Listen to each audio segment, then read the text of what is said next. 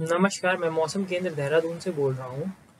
आज तीन मई हो गई है तो तीन और चार मई को उत्तराखंड के पर्वतीय क्षेत्रों में कुछ स्थानों और मैदानी क्षेत्रों में कहीं कहीं हल्की से मध्यम वर्षा की संभावना है। और उत्तराखंड के देहरादून, टिहरी अल्मोड़ा, नैनीताल, चंपावत, पिथौरागढ़, बागेश्वर जो जनपद है, यहाँ कहीं कहीं ओलावृष्टि की भी संभावना है।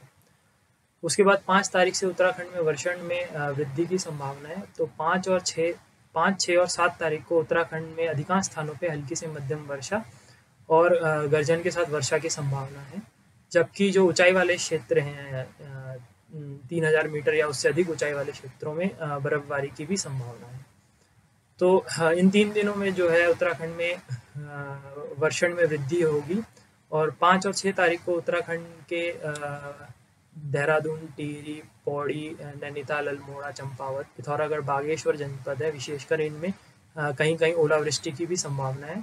जबकि जो उत्तराखंड के मैदानी क्षेत्र है, वहाँ पे तेज सतही हवाएँ चल सकती हैं, जिनकी गति 40 किलोमीटर प्रति घंटा तक हो सकती है। छः तारीख को उत्तराखंड के जो कुमाऊं क्षेत्र के कुछ जनपद हैं, जैसे नैनीताल, चंपावत पिथौरागढ़, बागेश्वर इनमें कहीं कहीं भारी वर्षा की भी संभावना है।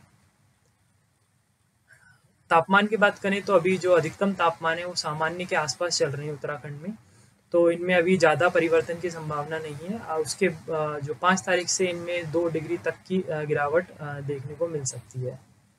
धन्यवाद।